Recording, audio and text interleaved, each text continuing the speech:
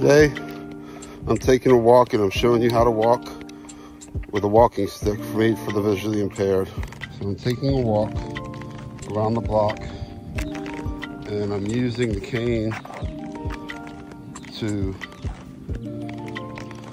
follow along the grass path. And you step left, swing right, step right, swing left.